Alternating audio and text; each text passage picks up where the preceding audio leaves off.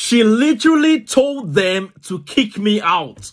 You all made the wrong person famous. So you remember this morning I said I was going to London for a movie premiere. Good morning, guys. So I've got a movie premiere this morning and I don't know what to wear. Well, things got a little bit awkward. So I was at the movie premiere minding my own business. And this girl kept staring at me like it was so obvious and it was so awkward. Every time our eyes would meet, I would I would smile back like just to make it less awkward. I noticed everybody there was like starstruck by her. Everyone knew who she was. Everyone was taking pictures with her. There was literally not one single person that did not take pictures with her. So I thought she must be either a famous actress or a famous musician. She looked like a real life Barbie doll. Like Barbie in real life. So I'm going to show you a video now of me with my vanilla milkshake at the movie premiere. What's up, guys? Having some milkshake right now. You can't go wrong with milkshake. Vanilla milkshake. So while I was drinking my vanilla milkshake, everybody was already going into the screening. And this girl walks up to me and she says, you are cute. I'm going to follow you back.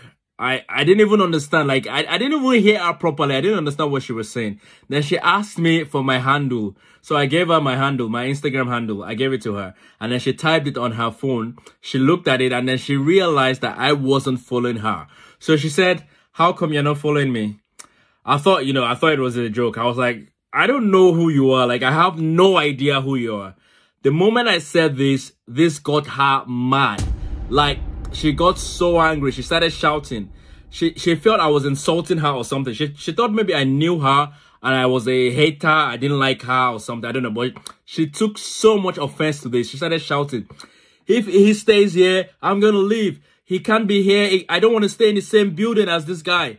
Like things were things were getting serious.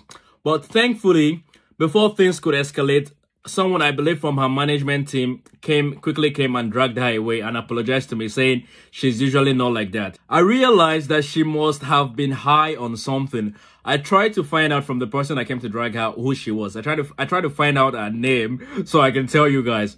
But they just they didn't want to tell me. They they they were just apologizing. They were just telling me please just let it go. Please just let it go. What I will never understand is why some famous people act this way.